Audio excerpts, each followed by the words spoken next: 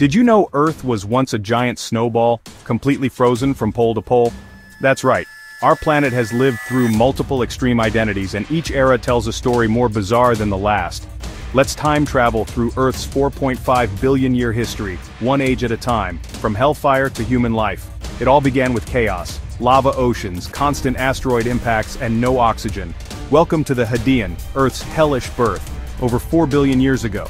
Next came the Archean, when the first oceans formed, and life made its microscopic debut. Tiny single-celled organisms ruled this watery world. No plants, no animals, just slime. Then came the Great Betrayal.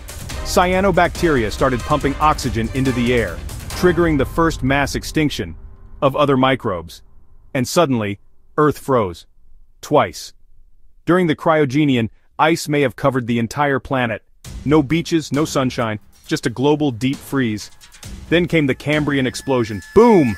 Life went wild. Fish, forests, dinosaurs, then mammals. All in one long stretch called the Phanerozoic. And humans? We've only been here for 0.004% of Earth's history. So next time you complain about the weather, remember, Earth's been through fire, ice, slime, and dinosaurs. And it's still spinning.